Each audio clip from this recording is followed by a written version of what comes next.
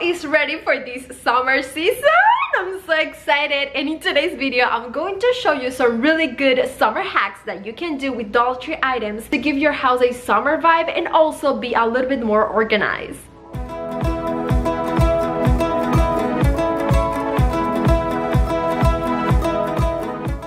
Everyone and welcome to my channel DIY Home Crafts. My name is Jess and I'm so excited to have you here today and if you like home decor, DIYs, hacks and projects on a budget guys make sure that you are subscribed to this channel and that you hit the bell to get notified every single time that I'm going to be uploading new videos and like I said in today's video I'm going to share with you some really good summer hacks that you can do to be a little bit more organized and also some really good DIYs and decor pieces that you can do to give your house that summer vibe. I'm going to be using Dollar Tree items, so these DIYs are going to be so inexpensive to do and so easy. And I just hope that you can get some ideas and inspiration from this video. And if you like it, that big thumbs up. It really helps to support this channel. Let me know in the comments which of these DIYs is one of your favorites. I'm going to be reading all of your comments. And hey, you can follow me on all my social media pages. It's DIY by Jaz. I'm going to leave you all the links in the description box of this video and every single video. Yeah, I just hope that you you are ready because I am. Let's DIY together. For this product, you can check at the Crafter's Square section for this wood container. It comes in different shapes like an apple and a castle, but I really like these pineapples because they are great now for summer. So I take three of them and what I'm going to do is to stick these three um, pineapple containers together with hot glue. You can use wooden glue just to make it so much stronger, but um, I like the hot glue because it dries faster.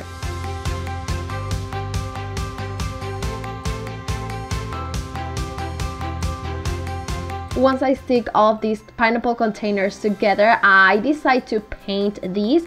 You can use any color you want. You can use a stain. I'm going to be using some wax in antique color to paint these wood. And what I like to do is to add a little bit of water on the wax to make the color a little bit lighter. And it's going to be so much easier and faster to paint. Next, I'm going to dry everything with my heat tool. That always works amazing. And you can find the link of that in the description box of this video. I decided to use these pineapple containers to um, organize the plastic spoons and knives that I have and I like to use when I have parties or um, to go outside and make a barbecue. You can identify that by making a small label. I decided to use some Scrabble letters that I get from Amazon. I'm going to leave you the link of that in the description box. I add the first letter on each pineapple container and then I just have to organize my utensils and put them where they go. You maybe can add another pineapple to put straws or something like that. I think it's so perfect when you have a party to keep your utensils organized in a cute way.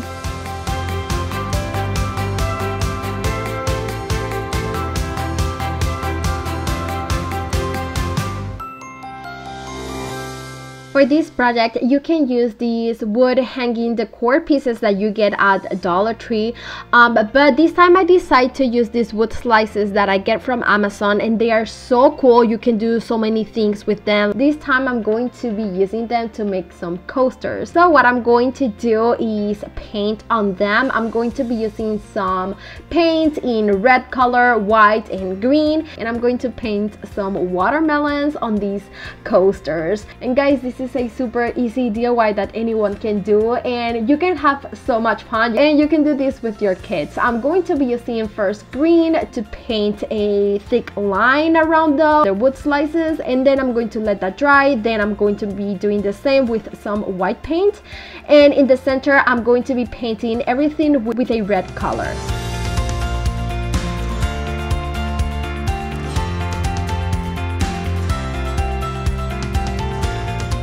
Now to make like the seeds of the watermelon, I'm going to be using a black Sharpie and I'm going to make like five or six seeds on the center of this watermelon slice.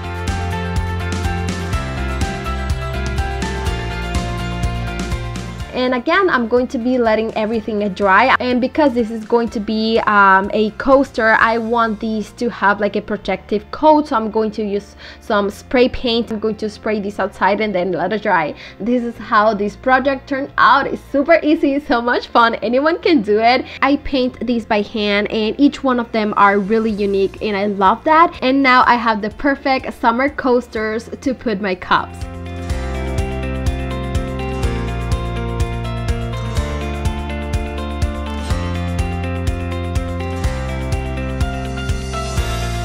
For this next project, you can use your Cricut if you have it, or maybe you can use some letters from Dollar Tree or something that you can get um, at Hobby Lobby, Walmart, Michaels.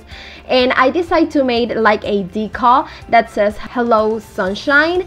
And what I'm going to do is to make two projects with these decal. First, I'm going to use the decal that has the letters. Hope that makes sense. I'm going to put that on a transfer tape and I'm going to stick that on a piece of wood sign that I have at home to make an easy and simple hello sunshine sign for my home decor. You can add a tooth hanger on the back side to hang these on the wall and like I said this is a super easy DIY decor piece that you can do on a budget to decor your home now for summer.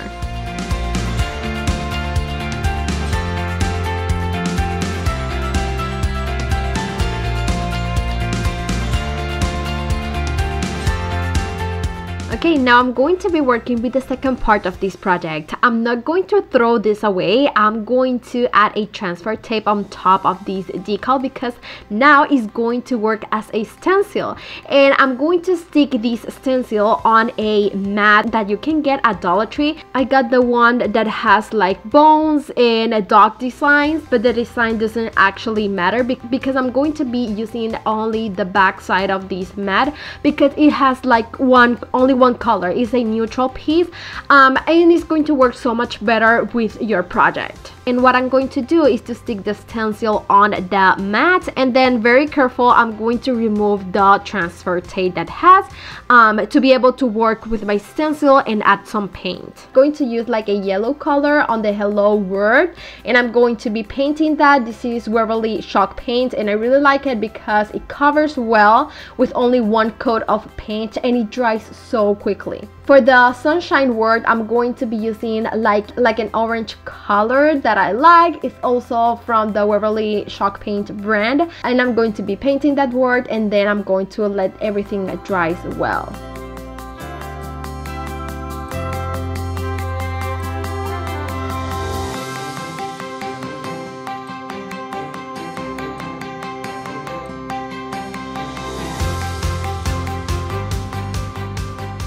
Once everything is completely dry, I'm going to be removing the stencil from my mat and that's it. This is a super easy DIY that anyone can do. It's so much fun and it's going to look perfect on your front door. It's going to give it that summer vibe and it's going to save you some money because this mat only cost me $1.25 from Dollar Tree.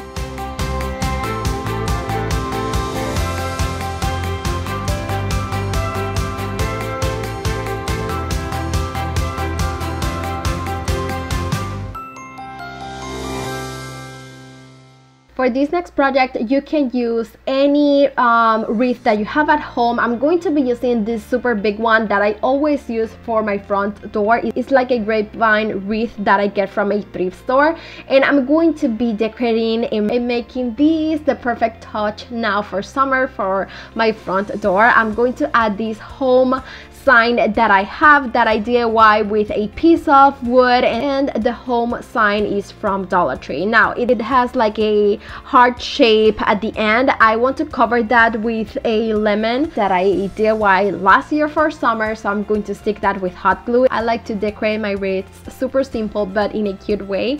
I like to put a lot of greenery so I'm going to be doing that and what I like about the grapevines wreath is that they are super easy to stick um, like like the stems of the flowers or the greenery um, without having to stick them with hot glue. So that's what I'm going to do. And then I'm going to put some really cute and big leaves on each side to give it a really nice summery touch.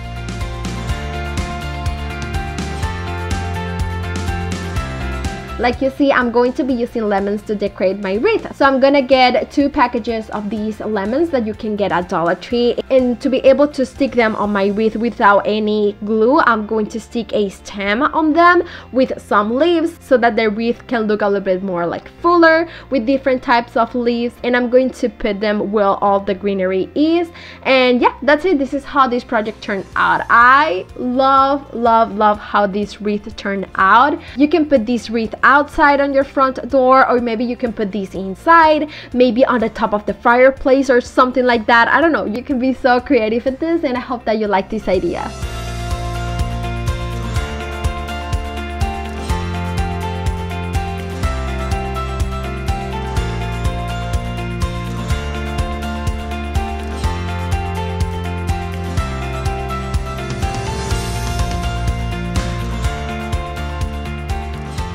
This next project I'm going to be using one of these pot belly vase that you can get from Dollar Tree or maybe any vase that you have at home. And you also need some raffia. And I got this one. I think it's new. I got it from Dollar Tree and it comes with a lot of raffia. So it is perfect for so many projects. And what I'm going to be doing is like separate all of the raffia and I'm going to get one piece and I'm going to start gluing these on my vase. Now I'm going to leave a small space on the top without raffia and I'm going to start gluing a small pieces or like strips of raffia in, in a diagonal direction.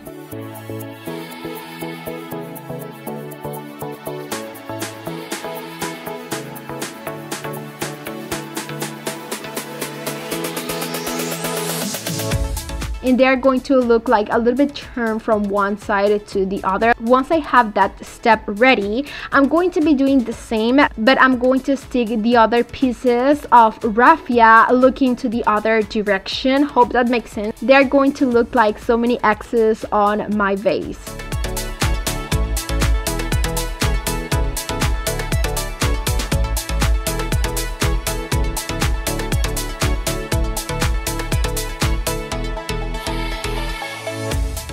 Okay once I stick everything with my hot glue this is how my um, base is going to look. And next I'm going to be using some more raffia. I'm going to get a few pieces. I'm going to stick them on one side with hot glue and I'm going to start making a braid. I want to make like a really long piece of braid to be able to use it for all my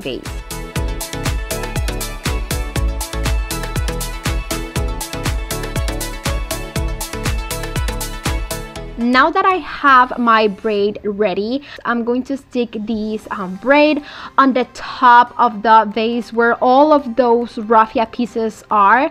And this is going to cover all of the mess with the glue that you maybe are going to have. Once I stick the first piece of braid on the top I'm going to be doing the same but on the bottom of the base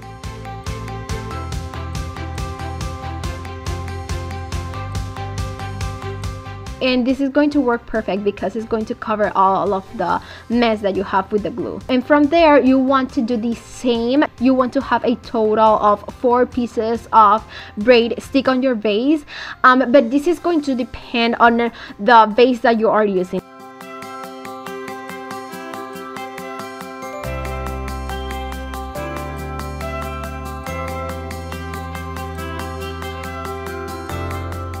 okay once you're done with the base this is how it's going to look and you can leave it like that of course if you want but I want to make like a picture vase so for that I'm going to be using a small piece of rope of nautical rope and you are also going to need some wire. And what you want to do is to cover the whole rope with the wire to um, be able to do like any shape that you want on your rope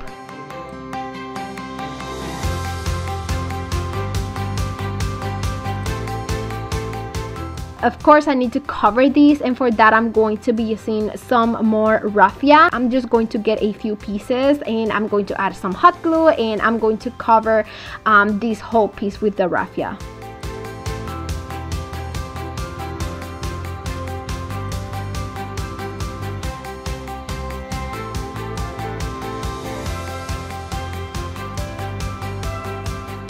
Once your whole piece is covered with raffia this is how it's going to look. And it's so cool because you can do so many shapes because of the wire that you added to your rope. Now it's time to stick this on your vase and I'm just going to stick one side on the top and the other one on the bottom to be able to form a handle for my picture Okay guys, once I was done, this is how my project turned out. It was so easy to make. It doesn't take me so long to do it and I think it looks amazing. This is a very trending piece that I saw on Pinterest and in so many web pages and I made a dupe with Dollar Tree items and I think it looks amazing and with a high-end look so I, I really hope that you can get some ideas and inspiration from these DIYs and that you create your own DIYs and projects to decorate your home on a budget. If you like this video, please give me that big thumbs up. It really helps to support my channel and let me know in the comments which of these ideas is one of your favorites. I'm going to be reading all of your comments and make sure that you are subscribed and that you hit the bell to get notified every single time that I'm going to be uploading new videos. Thank you so much for the love and support. Remember that you can also follow me on my social media pages. All of the links are always in the description box of this video. Thank you, thank you so much for the love and support and see you on my next one. Bye guys!